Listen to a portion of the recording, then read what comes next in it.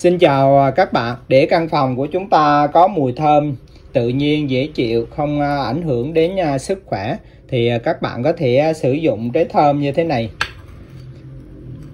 Khoét một cái lỗ ở trong cái trái thơm.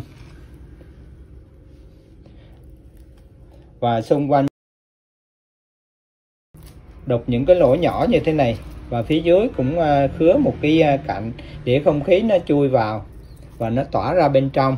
Còn ở trong à, các bạn à, đặt một cây đèn cầy, để vào đây.